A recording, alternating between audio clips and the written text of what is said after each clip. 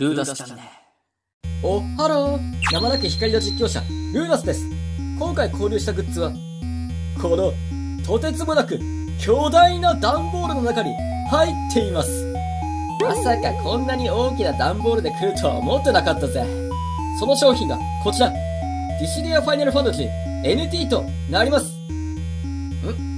ルーナス、おめえ散々へったくそなプレイ動画を投稿してんのに、なんで今更ディシリア NT なんて買ったんだよ？って思った方いるでしょ？確かに、普通のディシリア NT なら持ってるよ。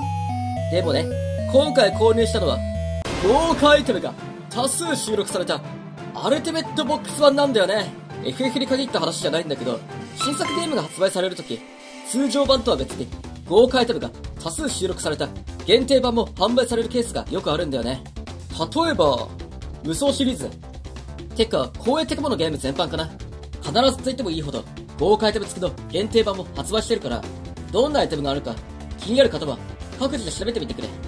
ちなみに、今見せてるのは裏面で、こっちが表みたいだね。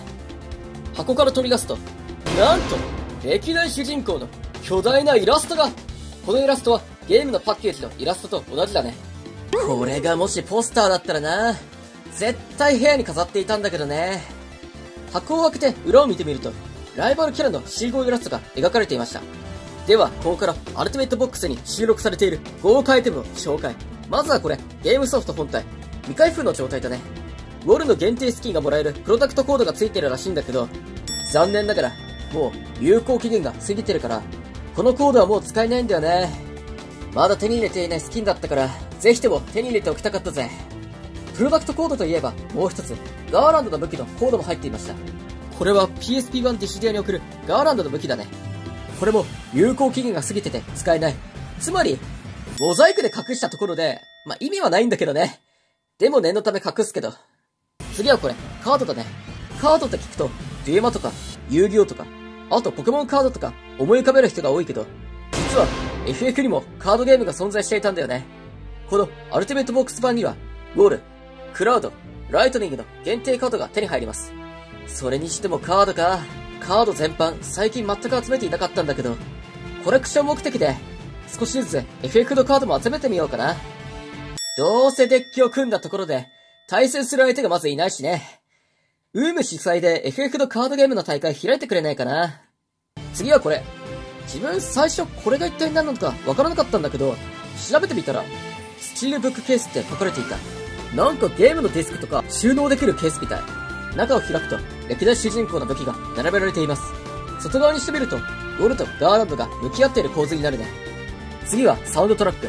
アルティメットボックス版に収録されているサントラは、市販のものとはまた別に、厳選された中国曲の BGM が収録されている非売品だね。いや、アルティメットボックス自体商品として販売されているんだから、非売品ではないか。限定サントラって言えばいいか。次はカレンダー。このカレンダーは、2018年4月から2019年3月まで収録されています。もう2020年だよ。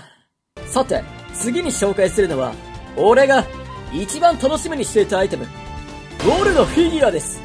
いやー、このウォールのフィギュア、欲しかったんだよね。これを手に入れるために、アルティメットボックス版を買ったと言ってもいいくらいだよ。野村哲也氏のイラストと、ゲームの CG イラストの雰囲気を忠実に再現しているこのフィギュア。傷の部分とか甲冑と布の質感とかさ、細部まで非常にこだわってるよね。完全にこれ、現実にウォルが現れたと言ってもいいくらいの再現度じゃん。俺、生まれてから今まで、こういうフィギュアとか一切集めていなかったんだけど、FF には完成度の高いフィギュアが多数販売されてるから、機械とお金があったら少しずつ集めていこうかな。とまあこんなところかな。豪華アイテムが付属されたアルティメットボックス2018年1月11日に発売し、本来の価格は18,500円だったんだけど、今回 Amazon の方で12,000円で購入しました。本当は発売日当日に購入して、プロダクトコードとか使いたかったんだけど、この当時確か俺、新三国無双8の方を優先して買ったんだよね。今から約2年前のあの時は、まだ FF の他に、いろいろなゲームも並行して実況していた時代。ゲーム実況者の数が多すぎる今の時代。ゲーム実況で食べていくためには、いろいろなゲームをやるのではなく、一つのゲーム、一つのジャンルを極めていくことが重要。その事実に、もう少し早く気づいて、FF シリーズのみ投稿していくと決意し、動画投稿していたら、FF 実況者として、もっと早く有名になって、今より実況活動が楽になっていたのかもな。2018年の動画を振り返ってみると、ちょうどこの時から俺、黒歴史の瞑想期に突入していくんだよな。もうとっくに突入してるか。今振り返ってみると、ああ、恐ろしい。ちょっと話が逸れてしまいましたが、豪華アイテム付きの限定版はディシリアルティ以外にも存在するので、お金と機会があったらまた購入して紹介していこうかな。高価の商品のリンクを概要欄に載せておくので、欲しい方及び気になる方はリンクをクリックしてね。というわけで、今回の動画はここで以上となります。最後まで動画をご覧いただき、ありがとうございました。チャンネル登録、高評価、コメント、よろしくお願いします。